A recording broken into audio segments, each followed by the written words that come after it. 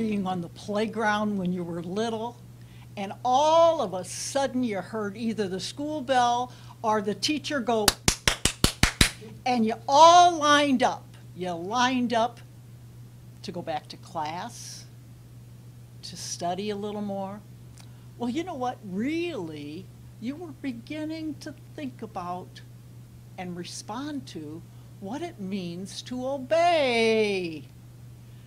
I just want to share a couple things about our vow of obedience. Our vow of obedience really began probably on the playground. We didn't promise that to God then, but I began practicing then because I was listening.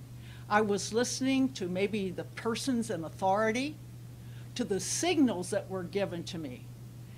In my vow of obedience, I first of all have to be listening to my God, the person to whom I vowed my vow of obedience.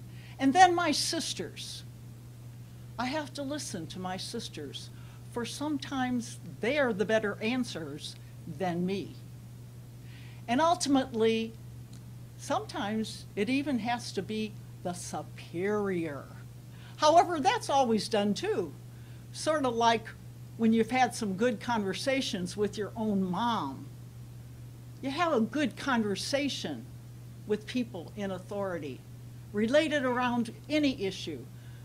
So I would just like to encourage you to just be aware of all the voices in your life right now that you listen to that help you make good decisions. You will.